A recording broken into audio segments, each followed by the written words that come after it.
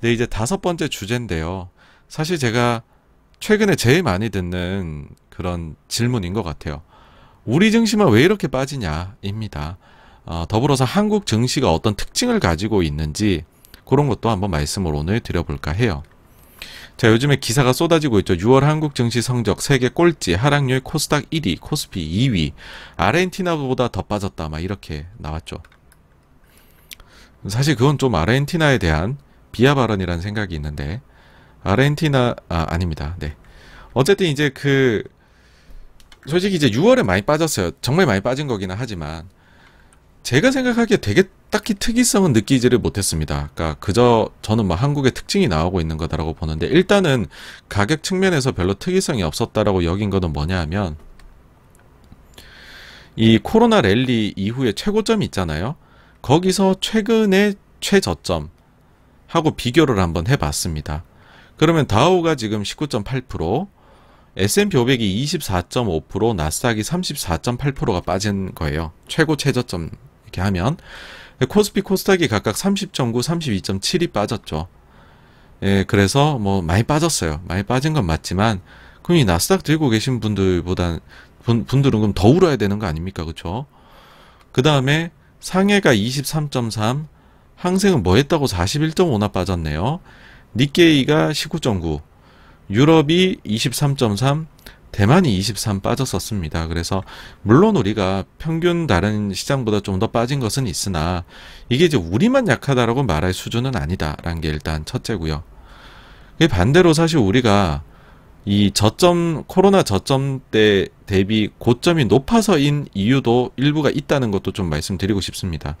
그러니까 코로나 때 3월에 글로벌 증시가 다 최저점을 찍었잖아요.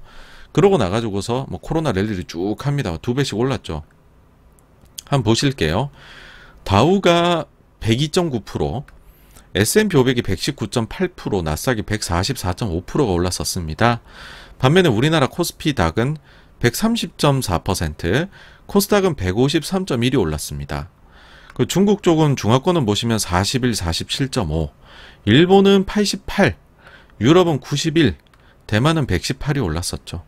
그러니까 우리가 많이 올랐었습니다. 우리가 탄력이 좋다는 거예요, 그만큼.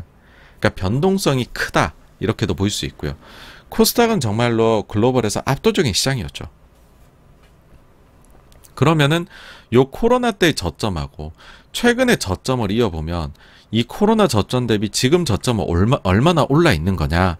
해보면 미국 증시가 대충 한 60% 내외. 우리 증시가 보면 코스피가 59 코스닥이 70 상해는 8.2 항생은 코로나 저점 때보다 최근 저점이 더 낮아요. 마이너스 13.7 니케이는 50 유럽은 47, 대만은 68입니다. 그러니까 이런 것들을 종합해서 봤었을 때 6월에 물론 우리 많이 빠졌어요. 그렇지만 전체적으로 이 코로나 랠리가 있었던 최근에 2년 가량을 곱씹어 보면 뭐 그렇게 특이한 숫자는 아니다. 우리가 막 되게 우리에 대한 되게 그 비하에 빠질 정도는 절대 아니다라는 생각을 해요. 그러면은 이제 해야 될 게 한국 증시의 특징을 한번 봐야 되는 거죠. 기본적으로 앞서 이 자료표에서도 보셨겠지만 변동성이 매우 큽니다. 이 큰 데는 이유가 있겠죠. 수출이 우리가 비중이 커요. 그러니까 외부 변수에 많이 흔들리는 국가라는 것이죠. GDP 대비해서 수출 비중이 우리나라가 36%입니다.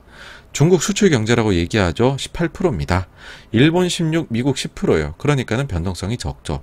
수출 이브에 다 해가지고서 우리가 무역 비중을 하게 되면 대충 7, 80%가 나오게 되겠죠. 그래서 우리가 그런 얘기를 해요. 우리는 GDP 대비해서 무역 비중이 70%, 80%나 된다. 라는 얘기를 그래서 하는 겁니다. 다른 나라들은요, 40도 안 넘어요. 그러니까 한국이 굉장히 높습니다. 그래서 대외 변수에 민감하게 변화에 반응을 할 수밖에 없는 거죠. 그리고 글로벌 경기가 좀 꺾이기 시작한다라고 하면 한국부터 안 좋아지겠지라는 생각을 미리 하고서 팔기 시작하는 것이고요. 다음으로 수출이 크다. 그 말을 하고도 좀 일맥상통하는 반대 경기 민감주의 비중이 되게 큽니다. 어, 그 S&P에서 산업 분류를 해놓은 게 있습니다. 11개 업종으로요. 우리가 이거를 긱스 분류라고 하는데, 그 중에서 이제 흔히도 이렇게 나눠요. 경기 방어적인 섹터가 있고, 경기에 민감한 섹터가 있다라고 이야기들을 합니다. 일반적으로, 어, 경기 방어적인 게 커뮤니케이션 필수 소비재. 이거 뭐, 이제, 뭐, 텔레콤 이런 거요. 뭐 SK텔레콤 이런 거 우리가 뭐 불황에 빠져도 전화는 써야 되잖아요. 그죠? 그 다음 필수 소비재는 먹는 거, 음식료 이런 것들. 헬스케어 뭐 약은 투여해야 됩니다. 그죠? 아픈 병원 가야죠. 경기 안 좋아도. 사실 요 부분은 조금 이제 그 이 분류하신 분들에 따라 다른데 저는 원래 IT가 하나의 섹터예요. 그 중에서 소프트웨어 쪽은 좀 경계 방어적이고 하드웨어 쪽은 좀 민감하지 않나 이렇게 생각해서 둘을 나눠봤습니다. 부동산이나 유틸리티, 유틸리티라는 거는 전기, 가스 이런 거예요. 이런 것들도 수요가 좀 비탄력적이죠. 근데 민감하다는 거는 임의 자유 소비재입니다. 이런 여행 이런 거 들어가요. 그 다음에 산업재, 소재, 금융, 에너지, 뭐 유가라든지 화학이라든지 조선이라든지 등등등이 다 여기 들어갑니다. 반도체, IT 하드웨어에 들어갑니다. 그래서 이렇게 민감 방어로 나눠보면 한국의 경우에 민감주의 비중이 60% 중반 정도가 나옵니다. 높을 땐 70% 넘어가기도 해요. 근데 다른 나라들은 어떠하냐? 미국이 S&P 500 기준으로 40% 후반 나오고요. 유럽이 50 중반, 일본이 60 정도, 홍콩이 50 후반, 중국이 30% 내외 정도 나옵니다.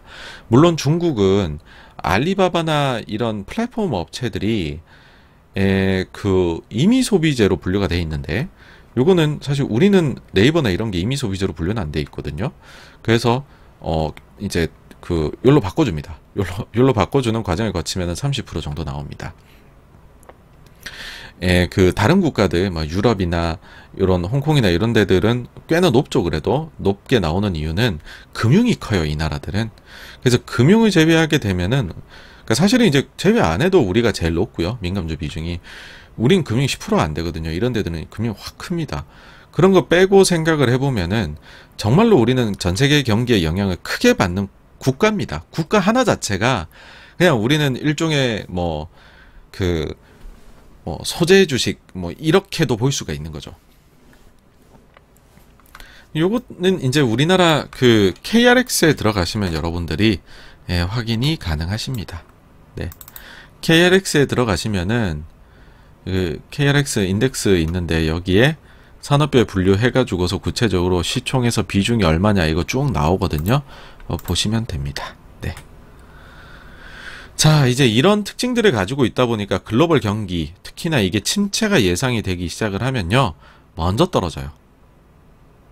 근데 우리가 이제 제일 큰 거는 어쨌든 이게 IT 하드웨어일 거잖아요. 반도체.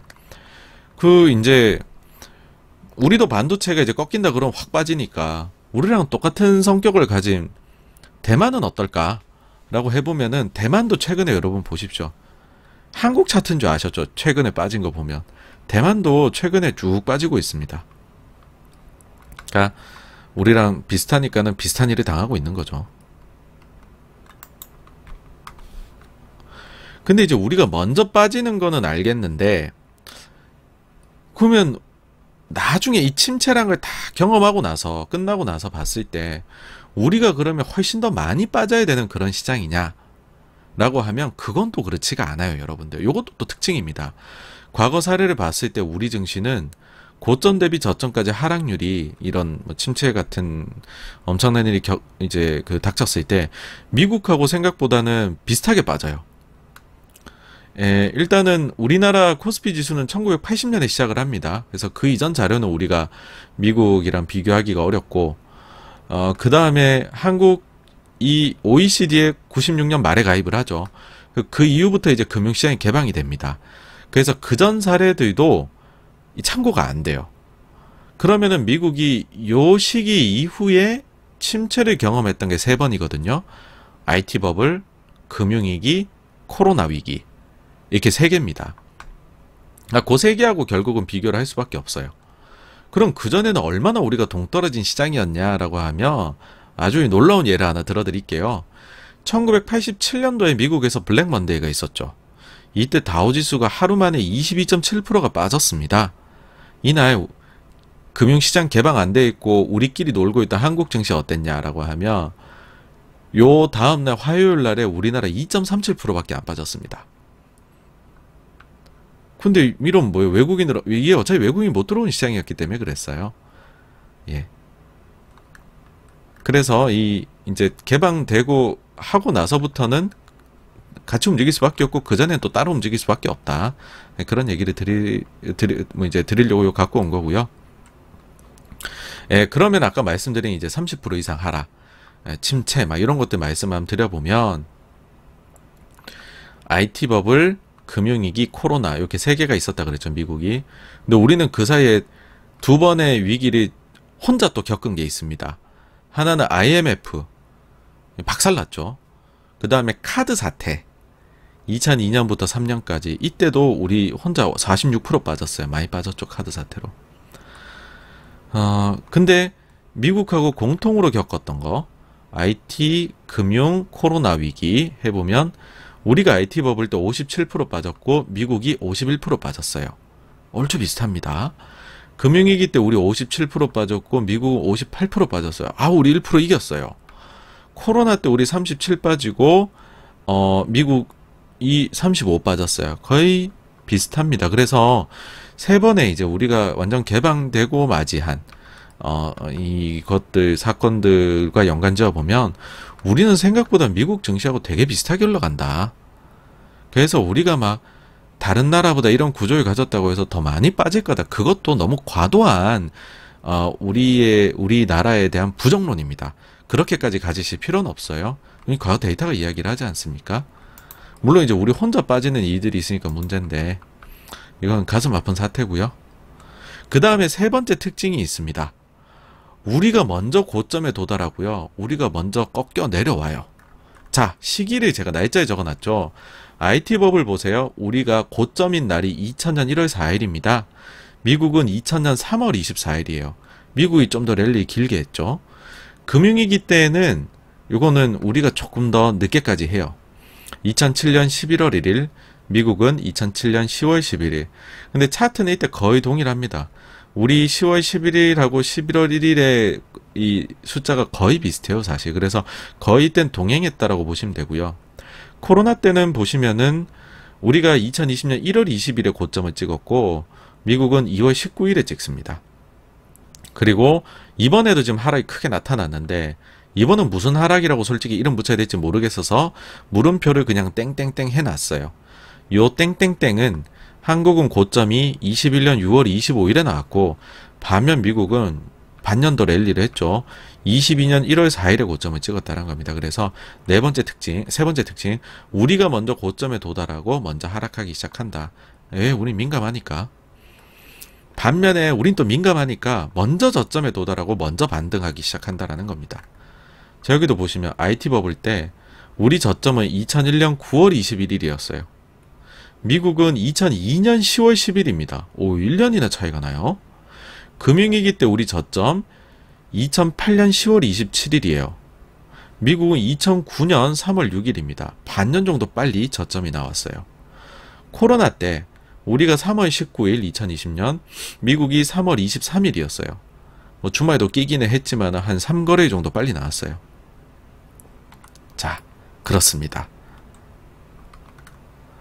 그리고 한 가지 더 아까 이제 요 차트에서 요 탭을 하나 추가를 한 겁니다. 우리는요 정말 빨리 반등해요. 반등 되게 빨리 해요. 한국 시장은 또 민감하니까. 그 어떠냐면 우리나라가 저점의 위기 때 도달한 이후로 두 배 오르는 저점 대비 두 배. 저점 대비 두 배를 보면 IT 버블 때 두 배 저점을 1년 9월에 찍고 두 배를 2002년 4월 17일에 찍습니다.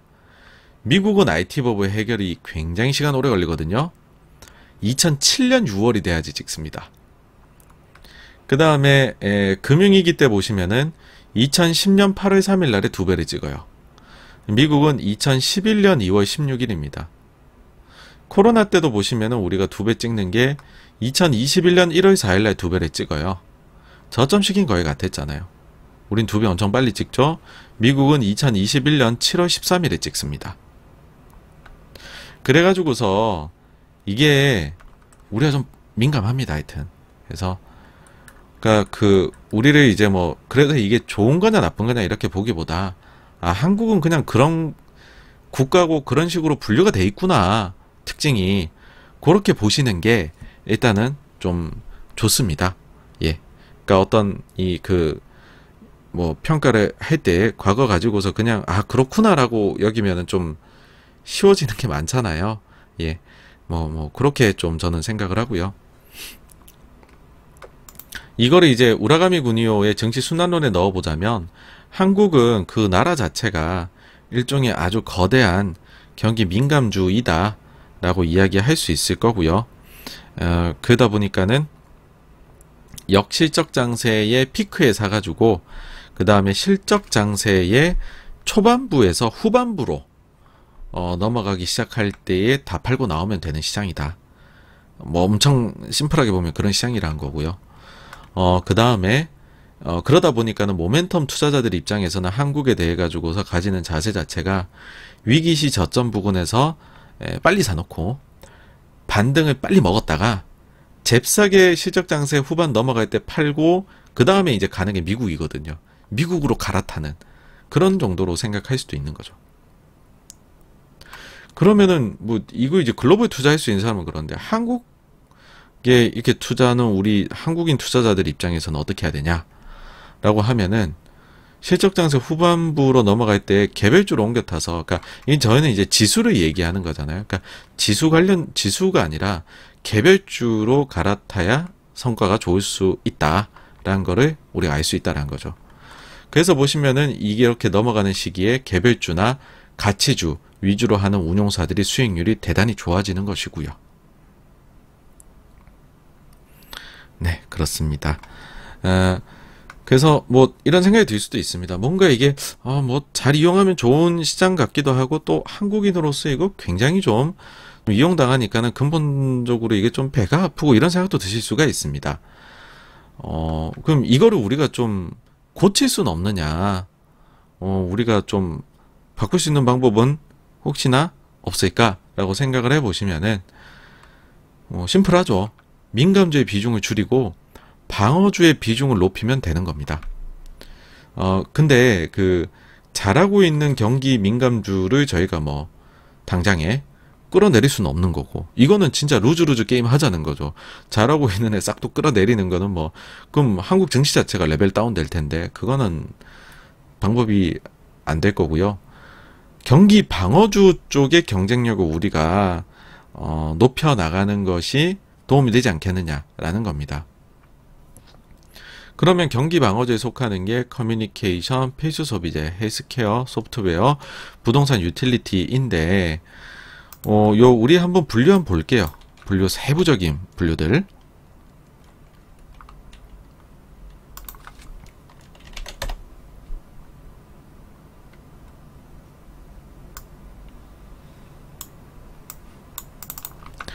그리고 또 KRX가 참 좋은 자료 많습니다. 그래서 긱스 산업분류 체계표 딱 해서 보시면은요.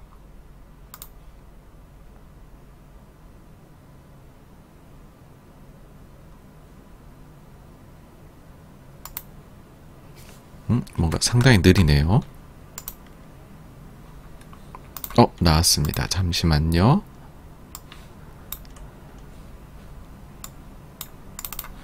네, 이제 요거에서 보시면은 뭐 에너지 소재는 아니고 민감하게 산업도 아니고 이제 이미 소비재 저것도 아니고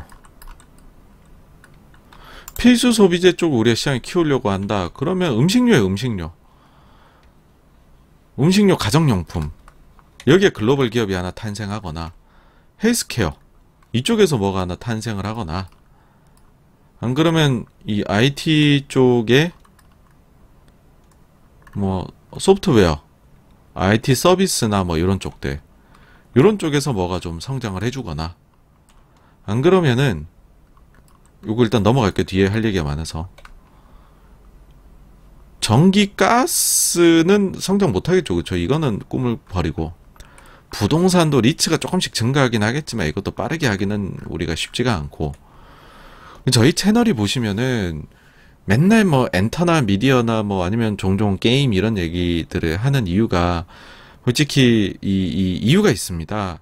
에, 뭐냐면 우리가 이제 현실적으로 좀 안정성이 높으면서 어, 우리 증시가 성장을 해 나가려고 하면은 커뮤니케이션 서비스 쪽이 성장하는 게 어, 제일 좋거든요. 그러니까 사실은 이 길밖에 없다라는 생각을 저는 해요. 그리고 그거를 봤었을 때는 여기에 속해 있는 게 미디어, 뭐 방송, 케이블, 위성, 엔터테인먼트, 영화 및 엔터, 모바일 게임 앱 등 뭐 게임 제품 생산 업체, 그리고 양방향 미디어 뭐 이런 검색인 뭐 이런 데들이 들어오는 거거든요. 그러니까 저는 이쪽이 많이 성장을 해야 된다고 봐요. 그래서 이쪽이 아주 크게 섹터로서 글로벌 기업도 나오고 해서 성장을 하면 우리가 이런 변동성이 조금은 줄어들 수 있지 않을까라고 생각을 합니다. 그래서 어떻게 하다 보니 기승전 엔터미디어의 성장을 기원합니다. 라는 주제가 되었는데 어쨌든 한국 증시가 조금 더 어, 다양한 분야가 발전을 해서 한 단계 더 레벨업이 되었으면 하는 생각이 듭니다. 그래서 뭐 지금과 같은 이런 걱정스러운 기사들이 좀 안 나왔으면 하는 마음입니다. 그래서 여기까지가요. 다섯 번째 주제에 대한 내용이었고요. 어, 이제 마지막 주제로 넘어가 보도록 하겠습니다.